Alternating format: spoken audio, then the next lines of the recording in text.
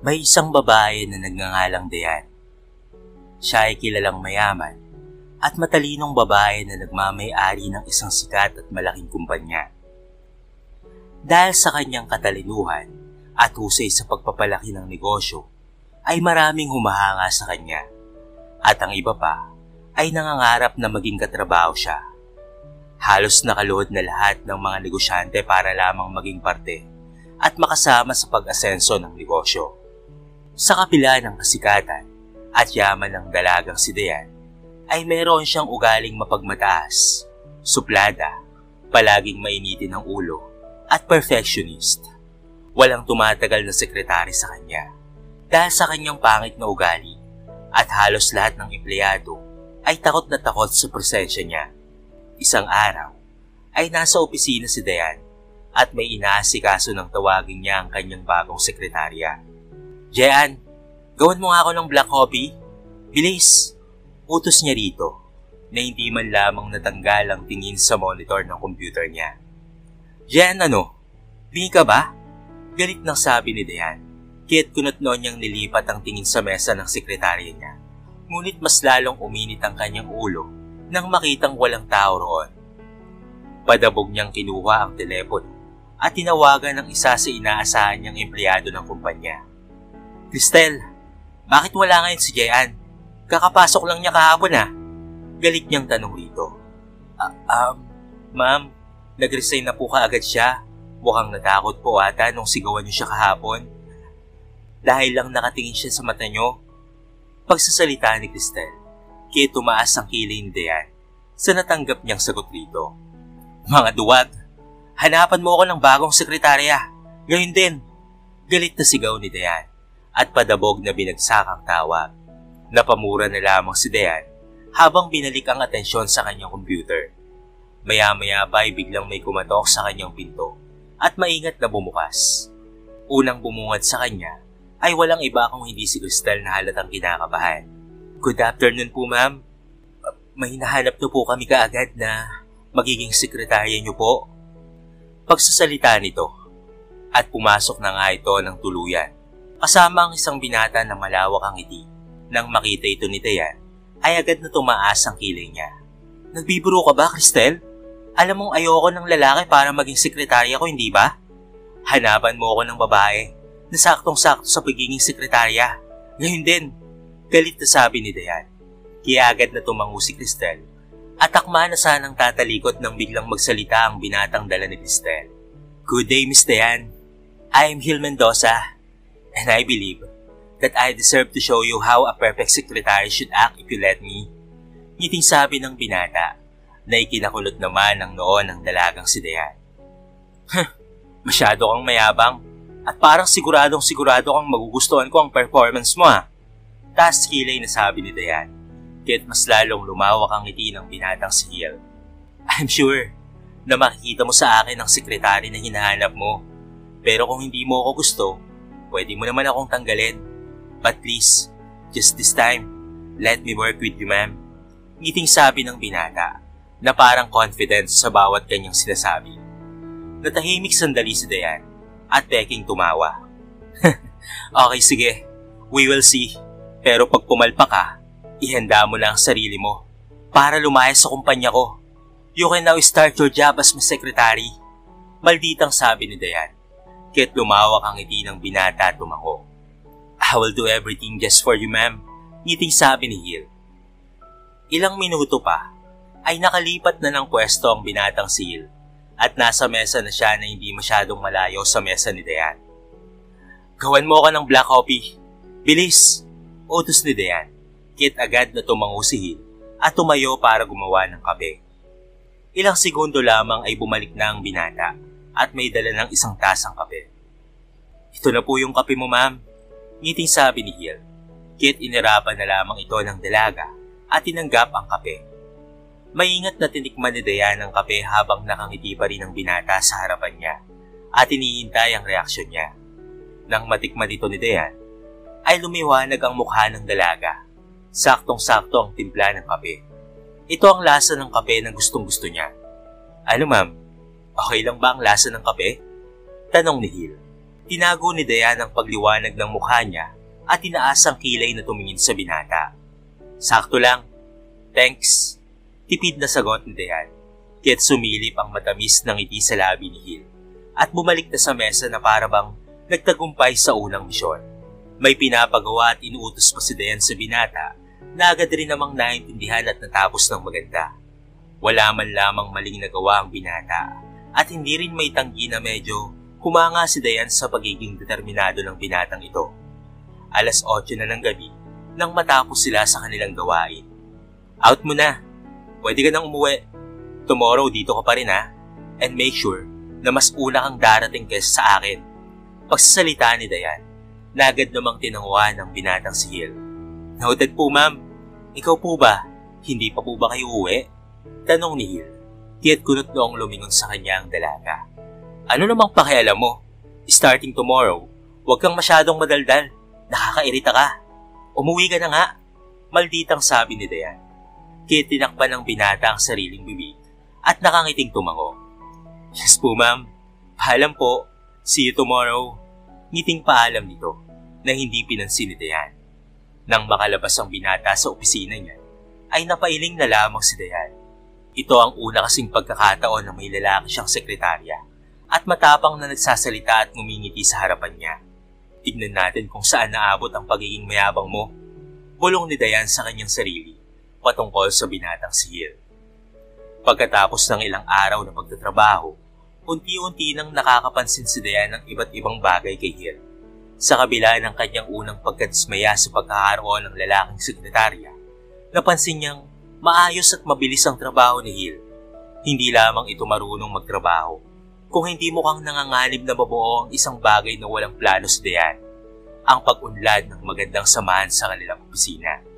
Sa bawat umaga, nakakarinig si Dayan ng masigla at masiglang boses ni Hill na nagbibigay buhay sa kanyang opisina. Palaging maayos ang mga dokumento at ang pagkakasunod-sunod ng mga papeles. Hindi rin ito kinakalimutan ng mga importanteng oras ng meeting at pati na rin mga deadlines na kadalasang hindi napapansin ng mga naunang sekretarya ni Diane. Isang hapon, habang si Hilay nasa harapan ng kanyang mesa at naglalatag ng mga papeles para sa susunod na araw, napansin ni Diane ang dedikasyon ng binata sa kanyang trabaho. Ngumiti ang binata sa kanya at diretso pang nakatingin sa kanyang mga mata. Bakit ka ba ganyan? Biglang tanong ni Diane kay Hill. Ano po bang ibig niyong sabihin, ma'am? Tanong ni Hill na may kasamang tig. Bakit hindi mo iniisip ang sarili mo? Bakit ka nagpapakatino para sa trabaho na ito? I heard na maganda ang trabaho mo sa finance department. Bakit tinanggap mo pa ang trabaho na ito kung alam mo naman na hindi ito madali? Galit na tanong ni Dayan. Napatahimik na lamang si Hill, ngunit mabilis na sumagot. kasi po, gusto ko pong maging maganda ang takbo ng trabaho dito sa opisina. At alam ko ma'am, na kapag maganda ang trabaho namin, magiging mas maganda rin po ang kinakalabasan para sa inyo. Hindi inaasahan ni Dayan ang sagot na iyon. Bumukas ang puso niya sa pag-unawa sa mas malalim na pagkatao ni Hill. Bakit ka ba ganyan, Hill? Maayos niyang tanong. Ngayon ay may halong pagkamangha. Ngumiti naman si Hill. Ma'am, gusto ko lang pong patunayan na kahit lalaki ako, ay kaya ko ring magtagumpay at maging magaling na sekretary Napagtanto ni Dayan ang kahalagahan ng pagbibigay ng pagkakataon sa iba. Kahit pa sa hindi inaasahan ng mga pagkakataon. Sige Hill, subukan natin kung hanggang saan mo kayang ipakita ang iyong galing. Maraming salamat po ma'am. Hindi ko po kayo bibiguin. Sabay ngiti ni Hill. Mula sa araw na iyon, nagsimulang magbago ang tingin ni Dayan kay Hill. Sa kabila ng kanyang dating pagiging mapagmataas, ay unti-unti na siyang natututong magtiwala kay Hill at sa kakayahan ng binata na maging isang mahusay na sekretary. Ngunit kahit papaano, ay hindi nag-iiba ang attitude ni Dayan. Nanatili pa rin ang kanyang pagkamaldita at maarte at hindi masyadong nagsasalita kung hindi kailangan. Ngunit inaamin niyang may pagkamangha na siyang nararamdaman para kay Hill bilang sekretary. Namangha siya dahil sa kausayan nito na hindi niya nakita sa mga nauna niyang mga sekretary. Isang araw, umuwi ng bahay si Dayan at ang unang bumungad sa kanya ay ang kanyang stepmother na maldita. O bakit ka nandito? Akala ko ba patay ka na? Natatawang sabi nito. Sabay tawa ng dalawang anak nito ng mga maldita rin. Oo nga, mami. Sana namatay na lamang siya. Wala naman siyang silbi dito eh. Sabi ng anak nito. Kailan ba kasi mapapa sa akin ang kumpanya niya, mami? Tanong pa ng isang anak nito. Kaya tumaas ang kilay ni Dayan. Do you really think nakakayanin mong humawak ng kumpanya? Eh hindi ka nga nakapagtapos ng pag-aaral kasi nahihirapan ka. Taas kilay na sabi ni Dayan. Kahit napasinghap na lamang ang mga ito at malakas na sinampal si Dayan ng kanyang stepmother. Wala kang karapatang pagsalitaan ng ganyan ng mga anak ko. Kung tutuusin, pwede ka nang lumaya sa pamamahay na ito kasi wala ka ng ina. Galit na sigaw ng kanyang stepmother. Napahawak na lamang si Dayan sa kanyang pisngi na pulang-pula na ng mga oras na iyon. Anong nangyayari dito? Biglang tanong ng ama ni Dayan. Nakakapasok pa lamang sa sala. Agad na nagulat ang kanyang stepmother at pati na rin ang kanyang mga stepsister. Ah, ah walahan. Pinati lang namin si Dayan at dumalaw siya rito. Sabay na lang tayong mag-dinner ngayon. Mas masaya kasi kapag nandito si Dayan. Peking umiti ang stepmother niya sa kanya at niyakap si Dayan. Ngumiti naman ang daddy ni Dayan at lumapit rin sa kanya. Anak, buti naman at dumalaw ka dito. Halika, sabay na tayong kumain. Masayang sabi ng ama niya na wala man lamang kaalam-alam sa pananakit ng stepmother ni Dayan sa kanya. May kukunin lang ako sa kwarto at alis na kaagad. Walang mo emosyong sabi ni Dayan at dumiretso na sa kwarto. Nang makuha ang bagay na kailangan niya, ay tuloy-tuloy na siyang lumabas sa bahay at hindi na pinansin pa ang tawag ng kanyang ama. Mahal na mahal ni Dayan ang kanyang ama, ngunit aminado siyang medyo nagtampo siya rito nang mag-asawa tulit at yun ay ang stepmother niyang masama ang ugali. Pangako papa, ilalayo kita sa kanila at magsisimula tayo ng masaya at panibagong buhay na tayo lamang ang magkasama. Nasabi na lamang ni Dayan sa kanyang sarili at pinandar na ang kotse patungo sa kanyang kondo. Pagdating ni Dayan sa kanyang kondo, hindi na niya napigilan ang kanyang sarili at napaiyak na lamang siya. Naisip niya ang matindi at walang habas na pangapi sa kanya ng kanyang stepmother at pati na rin ang kanyang mga stepsisters. Nangako siya sa kanyang sarili na hindi hindi na siya magpapakita pa ng kahit anumang kahinaan sa harapan ng mga ito. Kinabukasan, ay agad na bumungad sa kanyang umaga si Hill na may malawak ng ngiti sa labi. Good morning, Ma'am Dayan. Nakangiting bati nito. Tumango lamang si Dayan at diretso nang umupo sa mesa. Maya-maya pa, ay naglagay ng isang tasang kape si Hill sa kanyang mesa na may sticky note at may nakasulat na Start Your Day with a Smile. Nang mabasa ito ni Dayan, ay tinaasan niya ng kilay ang binata na hindi man lamang natinag at nanatili pa rin na nakangiti. Mag-smile ka naman ma'am, para mas lalong gumanda ang araw nyo. Ngiting sabi ni Hill. Gusto mo palayasin kita sa kumpanya ko? Gawin mo na ang trabaho mo. Ang daldal-daldal mo. Taas kilay na sabi ni Dayan. Kaya't natawa na lamang ang binata at tumangos sa kabumalik sa sariling mesa. Nagtulungan pa silang matapos kaagad ang trabaho at ginawa rin ng tama ni Hill ang kanyang trabaho. Lalong-lalo na ang mga bagay na inuutos ni Dayan sa kanya.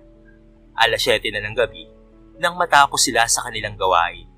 Kasalukuyan ng nag-uunat ng katawan si Hill nang bigla na lamang magsalita ang kanyang amo.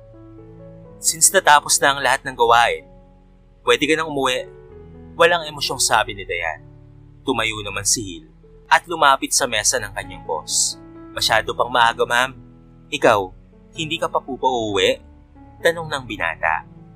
Hindi. Gusto ko pa munang mapag-isa. Tugon naman ni Dayan. Kahit ngumiti si Hill sa kanya na ikinakulot naman ng noon ng dalaga.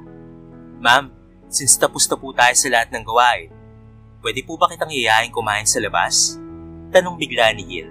Kahit bahagyang nagulat si Dayan at nag-iba ang reaksyon. Um, pero kung ayaw niyo po, okay lang naman po sa akin. Naintindihan ko po kayo. Agad na sabi ni Hill nang mapansin ang pag-iba ng reaksyon ng kanyang amo. Sorry, kasi ngayon lang kasi ako niyaya ng hindi ko naman kapamilya and not related sa business. Halos pabulong na pag-amin ni Dayan, kaya't nagulat ang binata. Totoo po ba yan, ma'am? Sa ganda niyong yan, wala pa pong nag-aaya sa inyo? Gulat namang tanong ni Hill. Kahit bahagyang natawa ang dalaga at umili. Nako, binobola mo pa ako, Hill. But oo, seriously, wala pa talaga. Aminadong sabi ni Dayan. Kit natawa na lamang ang binata. Di bali ma'am, ngayong gabing ito, ang first time mo at sisiguraduhin ko pong hinding-hindi mo ito makakalimutan sa buong buhay mo. Natatawang sabi ni Hill. Kit wala nang nagawa si Dayan kung hindi ang sumama sa binata. Ilang minuto pa ay nakarating na sila sa isang maliit na ihawan at parang itong batsuran. What's this place? Dinaloko mo ba ako, Hill? I thought magdi-dinner tayo. Bakit tayo nandito? Nagsisimula ng uminit ang ulo ni Dayan na hindi niya inakala na iyon pala ang lugar na kakainan nila. Dito nga tayo magdi-dinner. Ano po bang ine-expect mo, ma'am? Tuwang-tuwang sabi ni Hill. Kit nagsimula ng may nisang dalaga. Ayoko na. Sa restaurant na lang ako kakain. Supladang sabi ni Dayan. At akma na sanang aalis nang hawakan ni Hill ang kamay niya. Kaya natigilan sila pareho. Nagulat rin ang binata nang mahawakan niya ang kamay ng kanyang amo. Agad niya itong binitawan at seryosong humarap. Alam kong hindi mo pa nararanasan kumain sa mga ganito ma'am at ito ang first time na may nag-aya sa'yo. Kaya I'll do my best na ito ang magiging memorable at one of your best experience in life. Hindi ka pa ba nagsasawa sa mga lasa ng pagkain sa restaurant, ma'am? Trust me, magugustuhan mo ang batchoy at pati na rin ang barbecue nila dito. Promise? Nakangiti niyang sabi. Marahang pinapasok ni Hill ang kanyang dalagang amo sa loob, kaya wala na ring nagawa si Dayan kung hindi ang sumunod. Nang makapasok, ay agad na bumungad sa kanila ang amoy ng mga pagkain at halatang masarap nga ito. Nagsimula ng umorder si Hill at hindi na rin makapaghintay ang dalaga sa pagkain kakainin nila. Nang dumating ito, ay agad itong tinikman ni Dayan at laking gulat na lamang ng dalaga nang magustuhan niya ang lasa nito. Na para bang ngayon lamang siya nakatikim ng ganitong lasa ng masarap na pagkain. Masarap po ba ma'am? Ngiting tanong ni Hill. Hindi na nakapagsalita pa ang dalaga dahil sa pagkain na nasa kanyang bibig at munting pagtango na lamang ang kanyang isinagot dito. Grabe, parang gutom na gutom ka mama. Gusto mo pa bang matikman yung ibang pagkain? Nakangiting komento ni Hill ngunit abala ang kanyang amo sa pagkain na ikinatuwa naman ng binata. Sabi ko naman sa'yo na magugustuhan mo ito, mami. Paborito ko rin ang mga pagkain dito. Masayang sabi ni Hill. Nag-enjoy silang kumain hanggang sa matapos at nagtungo muna sila sa isang parke para maglakad-lakad muna. Salamat at dinala mo ako sa lugar na yon. Mukhang magiging paborito ko na rin ang lugar na yon at pati na rin ang mga pagkain ron. Natatawang sabi ni Dayan. Kaya tumango ang binata at ito ay tumawa rin. Ngunit nang mapansin ni Hill ang magandang ngiti ng dalaga, na bihira lamang nakikita kasi palagi itong nakasimangon, ay natigilan na lamang si Hill at natulala sa kagandahan ni Dayan. Ma'am Dayan, iba po kayo ngayon. Masaya kayo. Napangiti naman si Dayan. Oo nga Hill, siguro kasi matagal ko nang hindi nararanasan ng ganitong saya. Salamat sa pagpapaalala mo sa akin ha at sa pagpaparamdam na may nagmamahal pa sa akin, sandali ring natigilan si Dayan at natawa na lamang sa reaksyon ng sekretary niya. Um, I guess kailangan ko lang umuwi, Hill. Again, salamat sa lahat. Thank you for making me happy tonight. Ngiting sabi ni Dayan at tuluyan ng umalis. Simula noon, ay naging mas maganda na ang samahan ng dalawa. Ngunit pagdating sa trabaho, ay profesional pa rin sila ngunit tuluyan na talagang lumalambot ang puso ni Dayan sa binata. At parang nasasanay na siyang makita ito araw-araw. Hill, may parcel ako sa baba. Pwede mo bang kunin ngayon na? Utos ni Dayan na agad namang tinanguan ng binata at lumabas sa opisina. Ilang minuto pa ay biglang bumukas ang pinto ng opisina. Akala ni Dayan na makikita niya si Hill. Ngunit laking gulat na lamang niya nang makita ang kanyang stepmother at ang mga stepsister niya. Dayan, mukhang pagod na pagod ka ata ngayon ha. Oras na siguro para mapasaamin na ang kumpanya mo. Daw ang sabi ng staff sister niya. Hindi talaga kayo makaintindi eh, no? Sinabi ko na sa inyo na hindi hindi mangyayari na mapapa sa inyo ang kumpanyang pinaghirapan ng mami ko. Akin lang ito. Akin lang. Sigaw ni Dayan. Kit sinampal siya ng malakas at sinabunutan. Pinagtulungan siyang sakta ng tatlo at wala man lamang magawa ang dalaga at wala siyang kalaban-laban. Matapang ka talaga ha? Pwes, tignan natin ngayon kung tatapang ka pa. Kung pipilitin ka naming pumirma sa kontratang ito, na nagpapatunay na ibinibigay mo na sa amin ang pagmamayari ng kumpanya. Sabi ng stepmother niya at pilit siyang pinasulat sa papel. Napasigaw na lamang si Dayan nang mahigpit ang pagkakahawak nila sa buhok niya. Sa wakas, mapapasa atin na ang kumpanyang ito. Tawang-tawa at masayang sabi ng stepmother niya. Sa tingin ko, hindi na yun mangyayari dahil viral kayo ngayon. Viral na kayo sa social media. Salita bigla ni Hill na ngayon ay nasa may pinto at nakarecord sa live ang mga nangyari. Agad na nataranta at napatigil ang stepmother at stepsister ni Dayan. At saka ang mga ito ay lumayo. Sorry ma'am, pero para kay Ma'am Dayan lang ang kumpanyang ito. Pasensya na po pero magsisimula nang masira ang buhay nyo. Good luck na lamang sa inyo. Sabi ni Hill, kit dali-dali at parang naiiyak na lumabas ang tatlong salbahing babae. Agad na nalapitan ni Hills Dayan na ngayon ay nahihirapang tumayo. Maya-maya ay natigilan na lamang si Hill nang biglang yumakap sa kanya ang dalaga at umiyak. Salamat. Salamat talaga at dumating ka. Munting sabi nito. Kit marangin na plus ni Hill ang likod ng dalaga upang pakalmahin.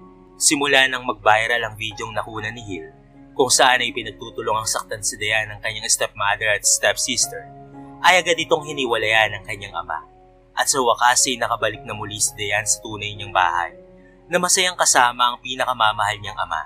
Napakalaki ng pasasalamat ni Dayan kay Hill dahil napagtanto niya na simula nang dumating si Hill sa kanyang buhay ay unti-unti nitong kinulayan ang nooy malungkot niyang buhay. Dito niya napagtanto na may rason kung bakit nangyayari ang isang bagay at bakit tumarating ang tao na hindi natin inaasahan. Dahil sa una pa lang, ito ay inilaan ng Diyos para sa atin.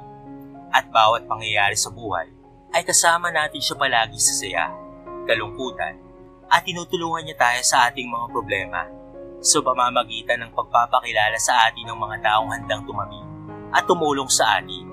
Sa pagtatapos ng kwento, ay naging magkasintahan si Diana at Hill. Sila ay naging magkatuwang sa lahat ng gawain sa kumpanya at makikita sa kanilang dalawa ang saya, pagmamahalan at suporta sa isa't isa. Mula ng araw na yon, ay hindi na naging masungit pa si Dayan sa kanyang mga trabahador. Naging maayos na ang pakikitungo niya sa lahat. At mas lalong lumaki at lumawak ang kanyang kumpanya.